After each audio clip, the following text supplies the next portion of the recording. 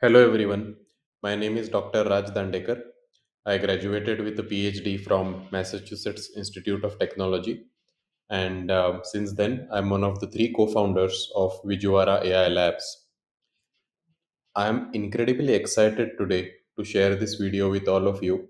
I've not prepared for this video too much because the announcement which I'm sharing with you happened overnight. Today I got up around 7 a.m. Indian time and uh, I went to LinkedIn as always and I saw this post that OpenAI GPT OSS is now the number one trending model on Hugging Face out of almost 2 million open models. I was waiting for this moment for almost two months, but I never thought this would happen.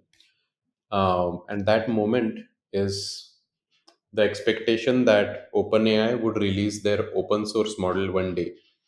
That's a huge moment for everyone in the AI community because the community split into open source and closed source, right? And OpenAI is the pioneer of the closed source modeling community, where uh, they did release one model in an open source way, which was GPT-2. So if you look at this OpenAI GPT-2, that was an open weights model, but that was six years ago. After that, they have not made anything open source and uh, their models are top notch. Their models are always state of the art right? So when they launched gpt oss it's a huge thing for the ai community because openai is suddenly now at the intersection of closed source models and open source models. And as soon as they launched their open source model it's shot up to uh, number one out of almost 2 million 2 million open models. That's the excitement around this model in fact whenever openai releases something new there is always excitement. But this is this is something extraordinary because it's a open weights model. And i'm making this video literally 3 hours after i saw the announcement but within those 3 hours i've done a number of things which i'm going to share with all of you right now. So first thing i did i went to their documentation and i saw what these models are okay so they are 120 billion model. That's the large model. And they also have a 20 billion model. Relatively smallish models. And they call these as reasoning models. But they also mention that uh, they can handle these models can handle agentic workflows as well. I have not tested their reasoning capabilities and i have not tested their agentic capabilities yet which i'll continue to do so. Uh, but let me explain what i have tested among these two models as of now so once I saw this announcement, I naturally wanted to run these models on my machine and I wanted to really get these open source models working for myself because mostly earlier I had been working with Qwen models or Llama models. Uh, I never thought I would be running a open source OpenAI model.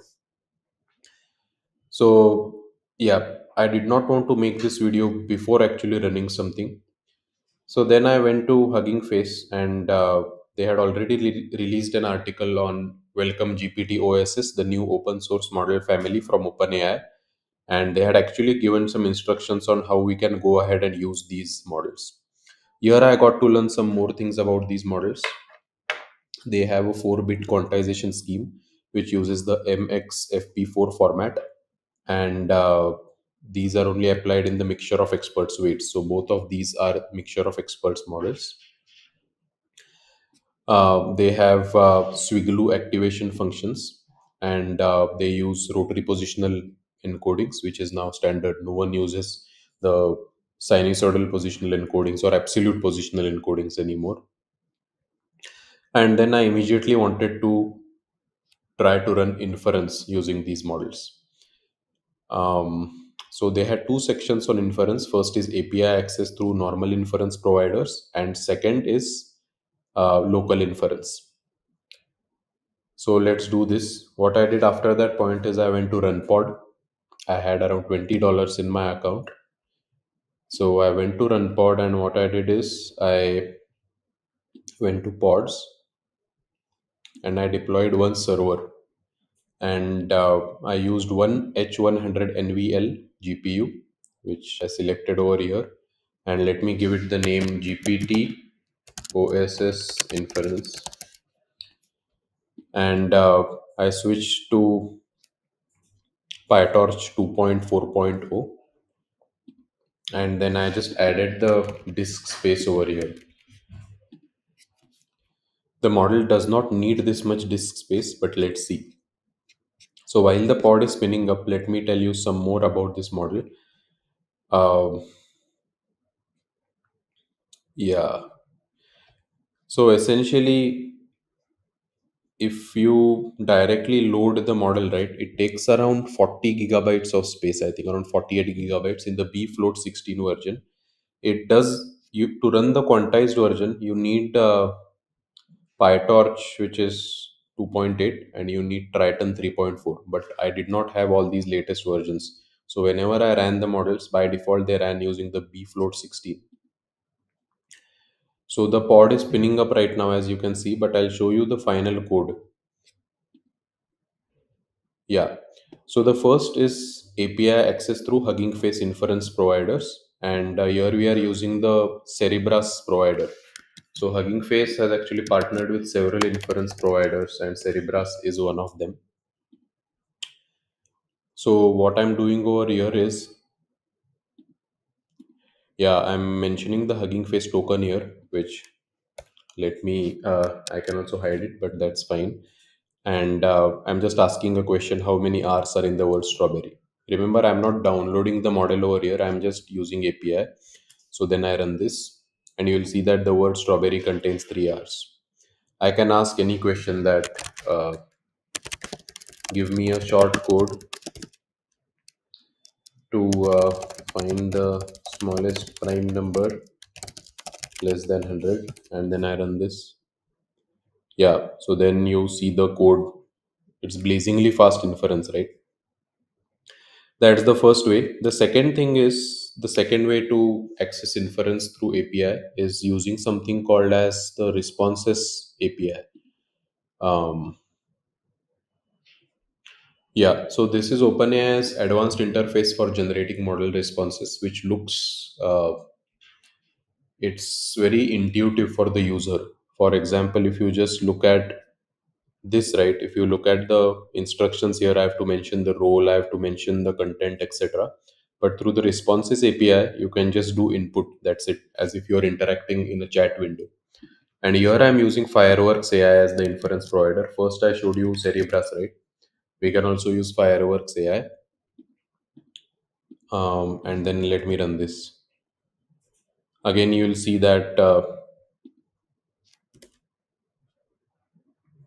the code has been printed over here uh, i think i'll need to restart this so that the same output is not printed. So i've restarted the kernel right now. And let me now print out this second. So now now i'm asking how many r's are in strawberry. Hf token is not defined. All right. I think i'll need to define the hf token over here. Name completion is not defined. All right i'll need to import these.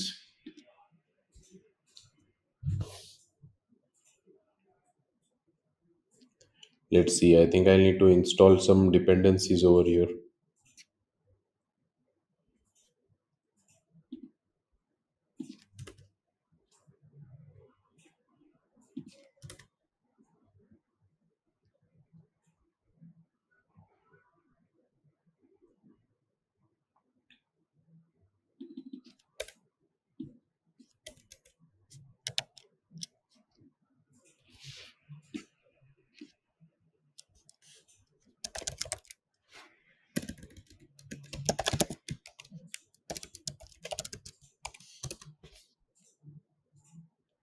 yeah so i'm printing the response over here and it says that there are three r's in the word strawberry so that's using the response api of chatgpt then i wanted to do what i wanted to do after this point is something called as a local inference where i want to really download the model on my gpu and remember i'm using h100 at the moment and then I want to query the model. So let's see how this goes. I'll first install these packages and then what I'll do is that I'll just say that this is the model which I'm using OpenAI GPT OSS 20 billion and the question is how many R's are in the word strawberry. Uh, so let me run inference on this model at the moment. So here you see MXFP4 quantization requires Triton version greater than or equal to 3.4, which is not there. So it's defaulting to the dequantized uh, float 16 version. But you immediately get the answer. The user asks how many R's are in the word strawberry. They likely li- refer to the letter R count in the word strawberry. So you see the reasoning trace or the thinking trace, since it's a reasoning model essentially. And the word strawberry contains the letters. So this is the reasoning and then the answer is uh, there are three r's right so positions 3 8 and 9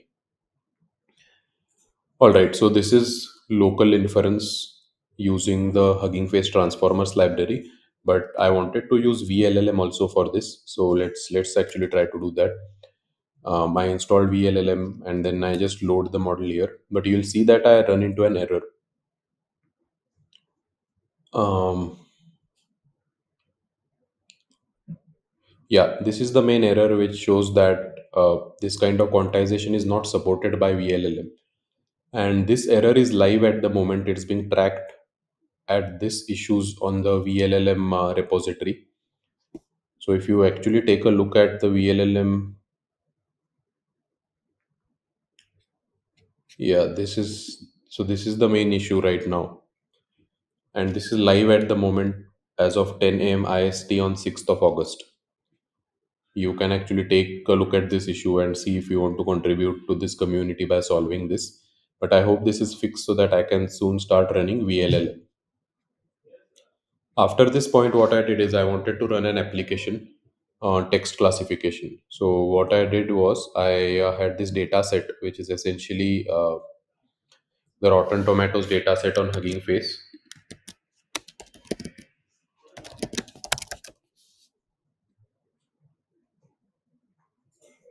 This one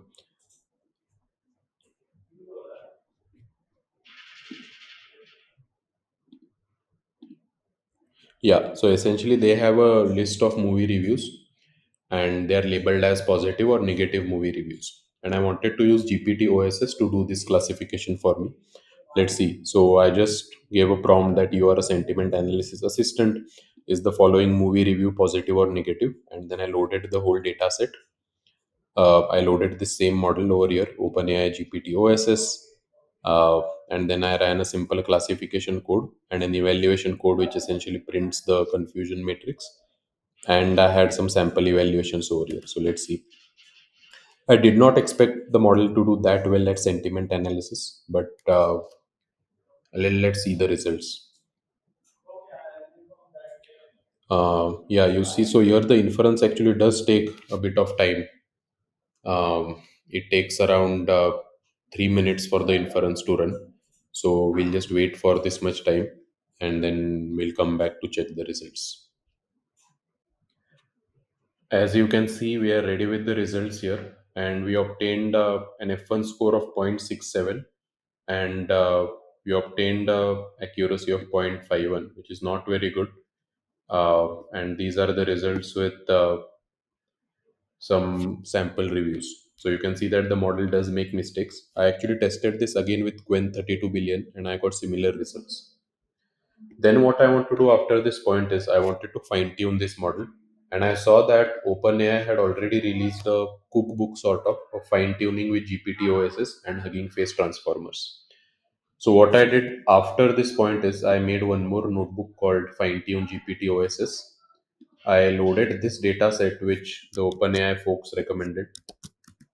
It's essentially a multilingual thinking data set uh, where uh, you can show the reasoning traces in different languages. So the whole idea is that this uh, data set, if you see, it's a reasoning data set where the chain of thought has been translated into several languages such as French, Spanish, and German. So if you use the OpenAI GPT OSS by default, it will generate the reasoning traces in English. So the goal is to fine tune this model on this multilingual thinking data set so that it can think in a specific language. So here you can see I loaded the data set over here. So let me take you actually through this entire thing. I first installed the TRL PEFT transformers libraries, loaded the data set over here, loaded the tokenizer over here and uh, uh, here is where I defined the PEFT configurations and the training parameters. It's actually a very simple script to run the fine tuning. I'm deliberately not going into that much detail. And then I finally ran the training script for I think around 63 iterations, one epoch. So that took around 20 minutes on my H100. And then I pushed my model to uh, my Hugging Face. So Vizuara AI multilingual thinking. So I pushed this fine-tuned GPT OSS on Hugging Face. So earlier, if you see, without fine-tuning, uh, if I ask some question, yeah, if I ask some questions, you will see that the reasoning here happens in English and the responses are in uh, French. But I want my reasoning also to be in uh, that particular language right now. I'll actually show you one more example here. Yeah, so if I ask this question, you'll see that the reasoning here is happening in uh, English, right? That's not a good thing. I want the reasoning to be in that specific language. So let's see the response after we fine tune. So I fine tune my, my model here and then do inference with my fine tuned model. And the responses which I obtain are this. So first I uh, use the reasoning model as German, and then you can see here that uh, the reasoning or the thinking is also in the German language. Then I switch to Chinese. You'll see that the reasoning or thinking is also in Chinese language. I also tried to switch the reasoning language to Hindi actually, but uh, this did not work for me for some reason. At least when I tried it earlier. Uh, but let's see whether it uh, whether it uh, works at the moment. Yeah, so as you can see here, I did not get good results for Hindi. Let me try French at the moment. I got good results for German. I got good results for uh, Chinese. Let's see for French. Yeah, I think for French also it seems to work. But the whole idea which I want to mention here is that it's actually very simple to fine tune the GPT OSS model on whatever you want because it's only this this training configuration really. The other prompts which I've made is just to test whether the model is working or not. That's why the code appears long, but it's very simple to fine tune this model. So all of these updates are made within the last two to three hours. That's why this video does not go in a lot more depth. I'll continue exploring this open source model for more um, industrial based applications and I'll keep providing more uh, and more in depth tutorials. I also want to explore the architecture of this open source model and build this open source model fully from scratch. Let's see all of that is in the plan but first i just wanted to implement this. I'll share all these code files with all of you so that all of you can get started uh, working with this open source model. I think it's a very big day for the ai community and we ought to celebrate because openai does seem to be open finally. Thanks everyone and looking forward to seeing you in the next video